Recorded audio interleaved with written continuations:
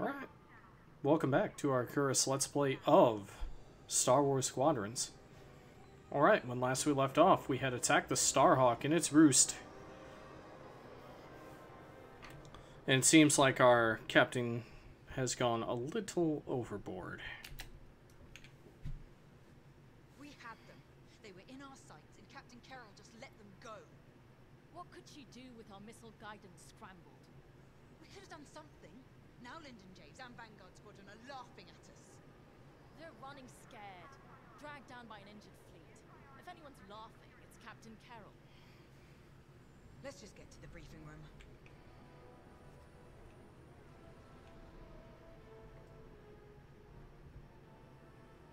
Take a look around. The Nadiri dockyards are burning. Starhawk flees before us.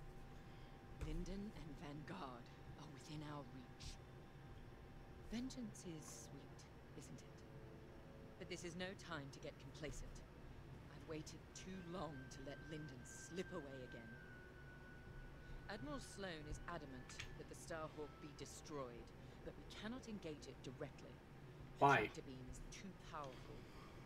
Instead, we must force them into the Ringali Nebula. There, Vanguard and their battleship will be erased from history.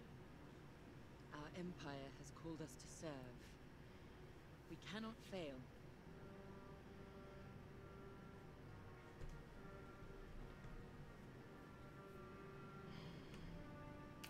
Our enemy is on the run.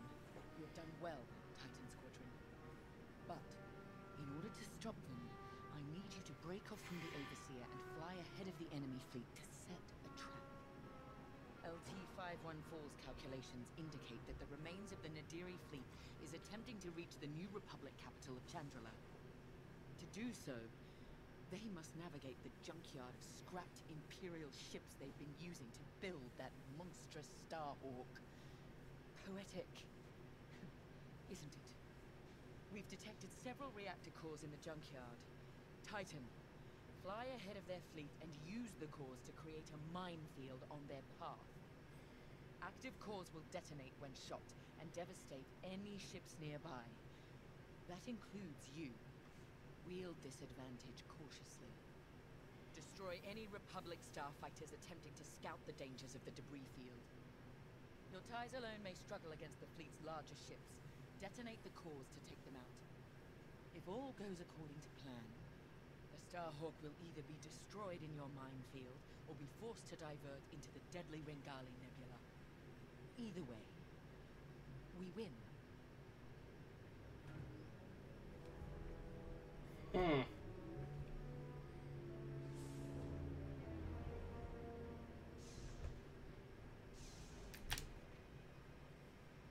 Hmm. I trust you see the wisdom in our strategy.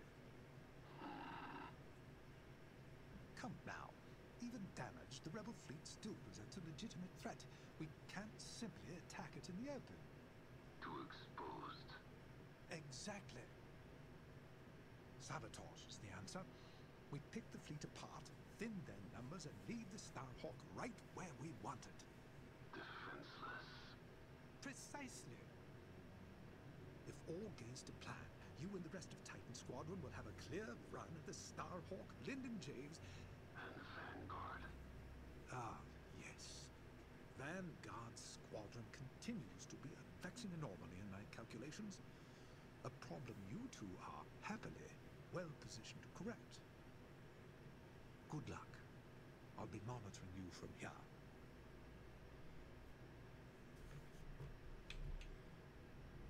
I mean, the two essentially android people were talking there. Could have been interesting. I kind of think I know where this is going. Especially uh, for Grey, actually. Because he featured actually uh, quite heavily in a lot of the uh, advertising, as well as uh, there was a trailer that played before the game uh, that had to do with Grey as the main character. Maybe uh, at the end, after the credits, I'll seek that out and play that for you. But I think I know where Grey's story is going to end. Ride the adrenaline. But remember, Yes, Varko, don't die. You said it a hundred times. None of us are replaceable. actually, I was going to say I need you alive because if our plan works, there's a good chance we'll be fighting the Starhawk in the middle of a nebula. If that's how this ends, then I want that good old Von Reg fury covering our backs. We came so close at Nadiri and they slipped through our fingers. Not again. Not today. Pace yourself. Make sure that fire's there when I need it. Can we just get started? Give me an interceptor for this one. Give me a choice so I can meet an interceptor. Anything but a fuck. Oh. You're authorized to fly a TIE bomber or a Oh. Just kill me now. Okay, so this beam cannon, I hate this thing. We're going with proton torpedoes. Uh, salt shield, I hate it. Uh, we're going with multi-lock missiles.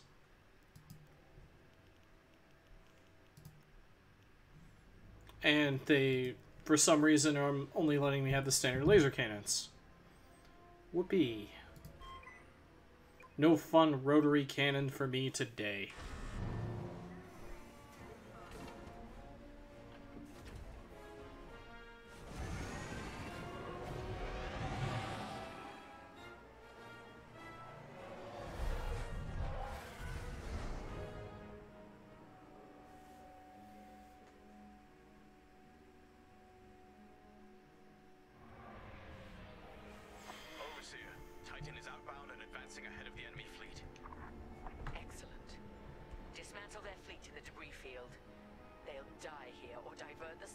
Into the Ringali Nebula. Squadron, on me. We're approaching the junkyard now. This isn't just a junkyard, Varko. It's an Imperial graveyard. How many different destroyers do you think they left out here? And what did the Republic do to their crews? Doesn't matter. We can't change what happened. All we can do now is deliver vengeance. Before we're done today, this will be a rebel graveyard too.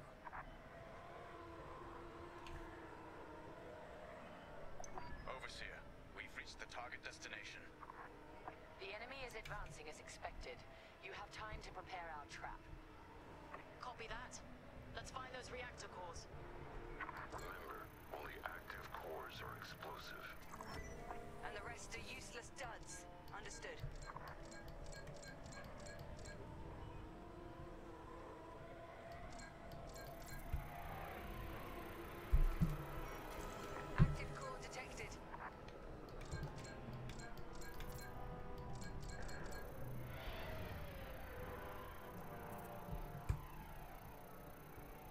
Come on, scan it.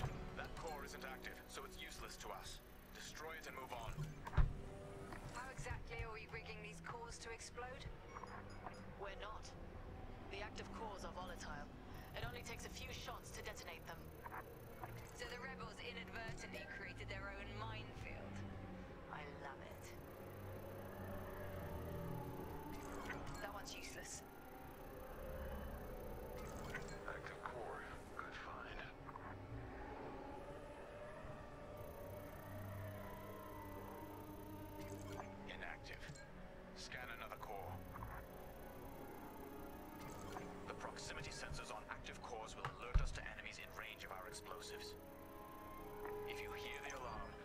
Is inside the kill zone. That's when we attack the cores and detonate. It's time, squadron.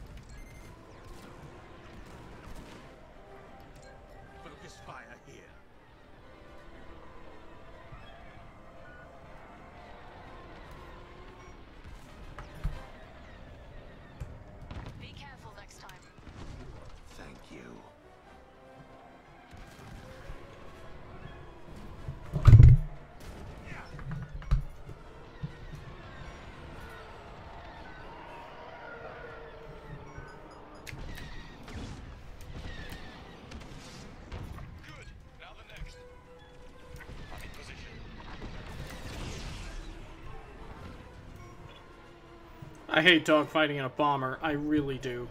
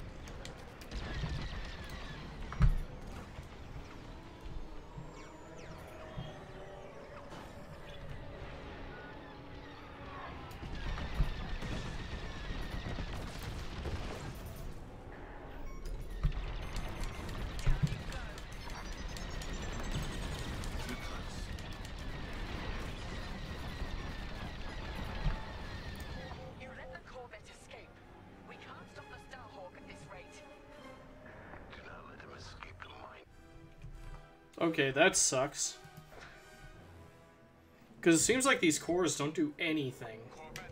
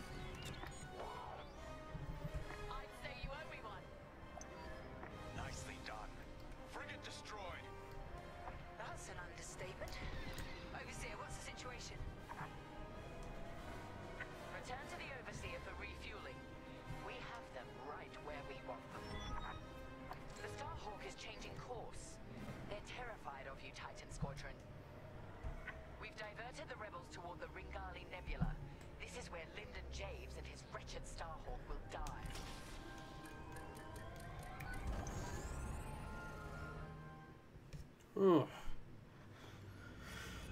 Ooh. I think I died during that one. Yeah. Otherwise I'd have gotten all of them. Oh. Just one mission of cat and mouse right after the other. I've been playing Imperials in this a lot more than I thought I would be. Well, maybe we'll get to see the next mission from the Rebel point of view. Anyways, this is Arcurus signing off.